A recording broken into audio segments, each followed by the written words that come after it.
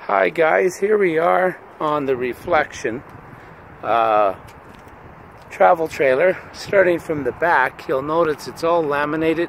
It has a pre-wired for a backup camera. Has a hitch here where you can actually bring your bikes. Here you can hook up a hose for spraying down, cleaning your car, your truck. And then of course here it's got an outside TV for watching those hockey games out in the sun. And then a, uh, a beverage fridge here. And a stove here. Okay. And the doors on these are all slam latch.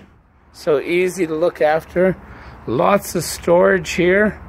Goes right across to the other side. Okay. Uh, the awning is quite large. It goes over the slide. Let's go inside.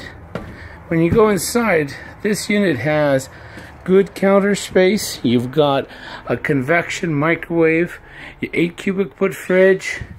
You've got, you know, probably a 30 inch TV, a fireplace. This makes into a full bed. Okay, two people can sleep in there, but this is my favorite.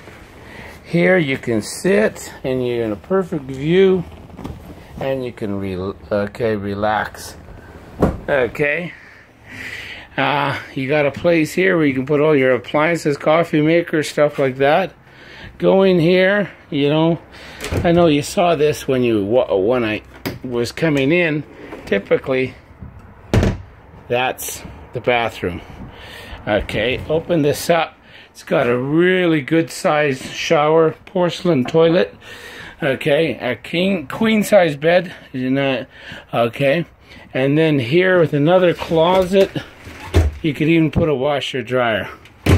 All winterized. Okay, with dual pane windows. Hope you like it.